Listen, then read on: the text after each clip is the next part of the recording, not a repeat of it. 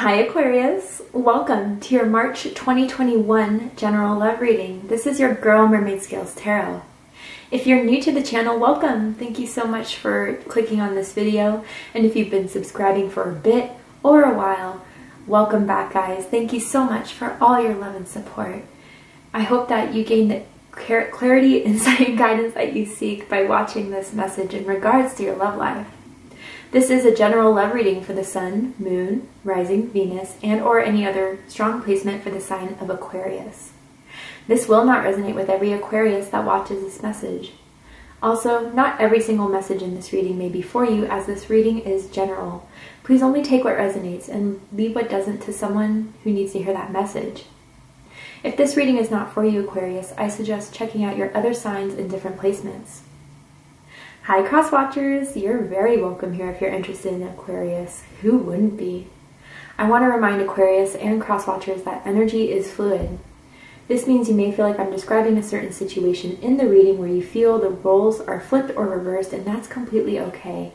You are more than welcome to use your own discretion to flip those roles if you feel like that resonates with your situation the most. Finally, before I get into the reading, I do want to quickly remind everyone of my monthly contest I hold in giving away one free personal reading for a lucky subscriber. If you're interested in winning a free personal reading for the month of March, open up the description box and you'll find the rules of entry there. Alright Aquarius, let's get started.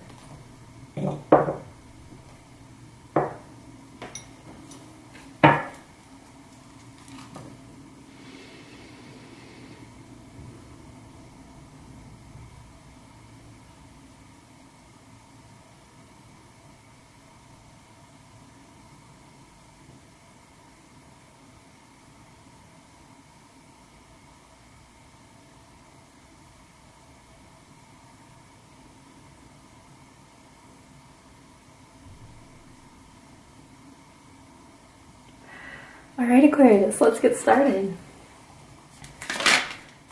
Spirit, what does Aquarius need to know for the month of March? Ooh, the cards are jumpy for you, Aquarius. All right. Okay, so we have the Ace of Wands, Fire Energy, Aries, Leo, Sagittarius Energy. Okay, so for some of you, there's a new interest, a respark of a connection, but man, is it passionate. Ooh, yeah.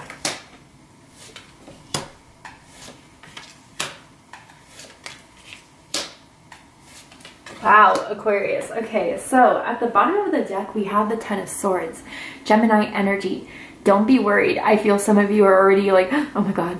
But listen, this is at the bottom of the deck. This is in your past. I feel that you had a breakup in 2020, um, maybe around November 2020, I'm picking up for some of you. And it, it was definitely a rough breakup, or it definitely took a lot from you. It was draining, it was toxic. But that is all said and done, Aquarius. And I feel that because of that ending that happened for you in, I gotta say 2020, but it could really be any time. But it's bringing in a new beginning for you guys, but you had to have the time to heal. And some of you are still doing that healing, I can see. Some of you are still a bit guarded, which is understandable based on the hard ending you had in your past in your love life with someone who, Aquarius, whoever this was in your past, I'll just briefly touch up on it and then move on. But it's like this person just one after another kept on betraying you, kept on stabbing you in the heart. And ultimately, I feel like they may have even broken up with you and you had a really hard time with that because you really wanted to make it work. But Aquarius, know whatever was in the past was not meant for you. Whatever is coming in March or has recently sparked your interest is, I don't want to say so much better, but definitely a lot more this person wants you bad. Let's just say that. We got the chariot crossing here. Cancer energy could also be Sagittarius energy for me as a reader personally. They want you, Aquarius. When you guys get apart from each other, they're wondering when they're going to see you again, when they're going to talk to you again. Um, you guys could have met online through a dating app um, for some of you, but the Ace of Wands, the moment they saw you, they knew they wanted something with you. Um, yeah. they've always had, I'm hearing dirty thoughts of you, Aquarius. So this is dipping in a little bit of a sexual energy coming through here, but I don't think you mind it. I think you both are very attracted to each other. And this is the spark you needed in order to get rid of this background energy once and for all. So let's get into it. Uh, the center of this is the Ace of Wands, fire energy, Aries, Leo, Sagittarius energy. You can have those signs in your chart. You could be dealing with one of those signs, but this is the beginning to something very new, but it's it feels good. It's passionate. It's exciting. Um, I get this energy that someone gets excited when someone sees that there's a message coming through in their inbox.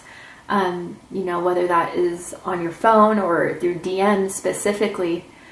Um, this person, I think what turns you on about them, Aquarius, is that they know what they want. And for the fact that they're going so hard on you, it kind of flatters you in a way. Um, and it is feeling sexual, definitely, but with the Wheel of Fortune here, I think this is something far more than either of you kind of realize or see it going, especially with that it's rooting the connection. There is some sort of fate here. You guys were supposed to meet for a reason, whether that is to move on from your past or something really special could be happening here between the two of you. I'm, I'm seeing a hockey stick. I don't know if someone plays hockey, likes hockey. Maybe you come from an area where they enjoy hockey. I don't know. Canada may resonate with you guys in some way. Um, but yeah, this is a brand new beginning that Aquarius, it's bringing your your excitement back to love for some of you. And what's crossing this is the chariot, Cancer energy, Sagittarius energy for me as a reader. Aquarius, I don't know, there's, for some of you, it feels like this person just knows what they want and it's you. And they don't give up very easily. And I think, you know, you, you get a bit wary of them with the Nine of Wands crowning this just because maybe it kind of somewhat reminds you of a person from your past or you just don't know if you should rush through to anything or open yourself up right after that hard type of separation that happened in your past. But trust Aquarius, this person, you know, they wait on your text, they wait on your call. And I feel you both do it, but you're playing a bit harder to get for a reason to protect yourself, which is understandable. But know, Aquarius, that this person, they have their eyes set on you, and I don't think a lot is going to stop them with this chariot card. Um, someone could be in the military with the chariot. Um, someone could, I don't know. With this chariot energy, I kind of just feel a stubbornness that I don't usually feel with the chariot. But you guys can understand stubbornness, right? No, I'm an Aquarius moon, so don't trip. But um, yeah, they're really excited about this connection, Aquarius. And right now, I feel like you even have plans with them to see them soon. I don't know if that's this weekend or some of you guys even today, I'm picking up on um, whenever you're watching this message. But they definitely want to see more of you, Aquarius. Absolutely. What's crowning this reading, though, is the Nine of Wands. So Sagittarius energy a lot of Sagittarius energy in this reading. So if you have Sagittarius in your chart or you're connected connected to a Sagittarius, I suggest watching the Sagittarius reading to see if there's messages for you there. But Aquarius, they see you have a bit of a guard up, you know? And honestly, you have been through a lot with this Ten of Swords. So they know that there is a bit of protection there. But honestly, I think they are confident enough in themselves to start persuading you and letting that guard down. They definitely have some tricks up their sleeves in the bedroom. They're definitely good in bed. Um, I don't know if you know that already or not, but they definitely have a lot in mind on what they want to do with you. But maybe Aquarius, because of the sexual energy, it's already making you feel like you have to have a guard up. You don't want to deal with any more players, playettes in your field, right? Um, I feel Aquarius for a while you weren't really interested in dating. And only recently or, or kind of like this new person came into your life kind of re-sparked that interest. But for a while, you just wanted to be single. And I think you still are. I mean, you're not like committed on Facebook, and if you are, then I don't know. But um, it, it's you've been single to heal a bit, and some of you are still going through that healing. So if you don't want to rush things, I don't recommend rushing anything if you're not ready for it. But I don't think this person has a certain time limit. They just know that they want you. And someone could go fishing too. I don't know. What's rooting this is the Wheel of Fortune. Um, Sagittarius energy, also Pisces energy, as this is a card of Jupiter, and Jupiter is the co-ruler of Pisces. There's something, there's a reason why when you guys met there was like an instant connection or there was an instant attraction to one another. Because the Wheel of Fortune is here. There's something faded about this. There is a reason why you guys have met, and a lot of you are still kind of figuring out that reason. you know, I am kind of picking up on for some of you guys, both of you just got out of relationships in a way. And this person maybe didn't expect to find such an attraction so soon, but man, it's really, really clear how they feel for you, Aquarius.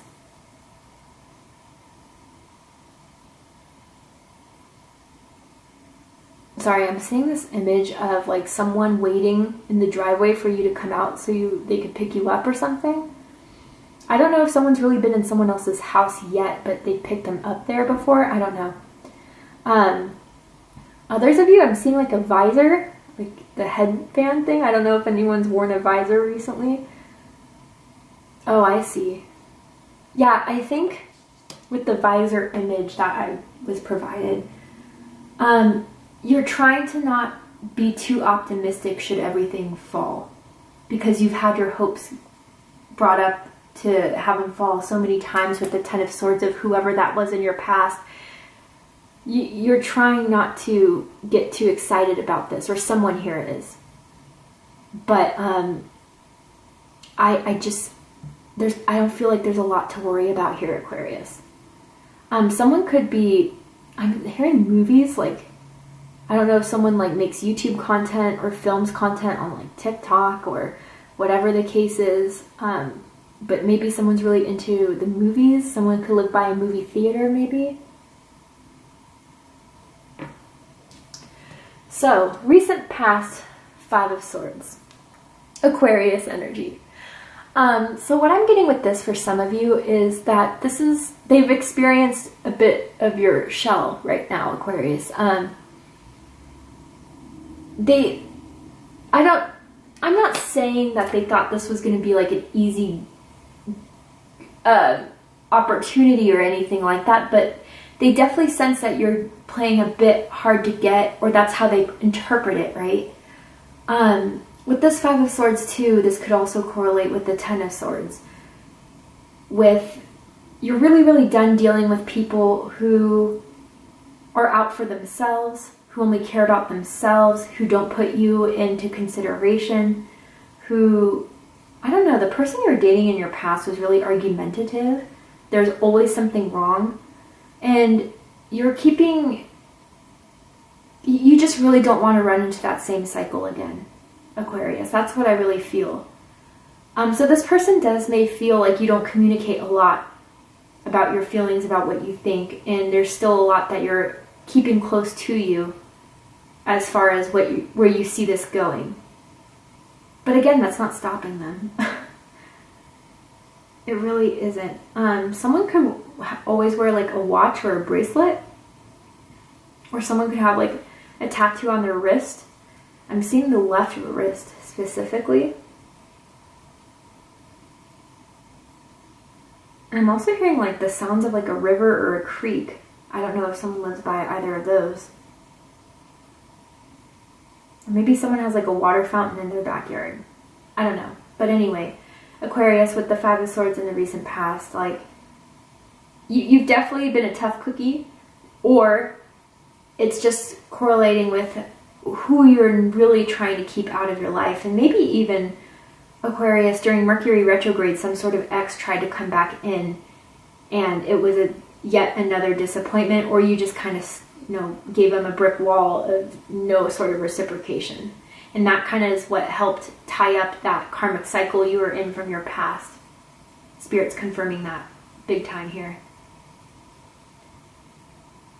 And I'm also seeing these pair of pants that have like prints on them, like the graphic prints. Um, I don't know, printed pants is what I'm hearing. Could be like workout leggings, maybe, but I don't know. It looks a little more um, like dressed up than that. But anyway, what you need to know about this connection, Aquarius, Three of Pentacles, Capricorn energy. Um, someone wants to put the work in. Someone is interested in you, and you got to know that the interest is genuine. I feel is something that they want to put effort into, that they want to put time into. Um, with the Three of Pentacles too, with what you need to know about this connection, maybe you've met them at work and that's why you've kind of kept some sort of distance because it would be inappropriate in some sort of way. But for a lot of you, I just gotta say, yeah, there's there's work that they want to put into this Aquarius, and since they've met you, it's only been you that they've had in mind, and they're really excited about this connection they have with you. Um, yeah. I even feel like someone's very outdoorsy even, and maybe that's why I heard a creek, like someone likes to go on hikes, someone likes to go camping, and maybe they'll try to like invite you to like an outdoorsy doorsy type of date or like weekend even. They want to impress you. That's what I'm getting as well. But this is the start, or could be the start to something very passionate so for the likely outcome of this situation, Aquarius, we're going to go ahead and take this to Vimeo for the extended reading. But before we go, I will pull a card from the Romance Angels deck. I'm going to ask Spirit if there's anything else you need to know about this connection. I'm also getting that someone likes to talk on the phone, but it's like on speakerphone. I don't know because you're always doing something while you're talking to someone on the phone, or this is that person. Anything else that Aquarius needs to know about this person or the connection? Ooh, codependency addictions are affecting your love life. And then stay optimistic about your love life. Positive thinking and faith will bring you romance. Okay, this makes a lot of sense here, especially with kind of what I was saying with the Wheel of Fortune earlier. Aquarius, okay, yeah. So what I feel like with this is that you're keeping your guard up because maybe in the past you dealt with codependency or you dealt with toxicity, right? And maybe this person has too.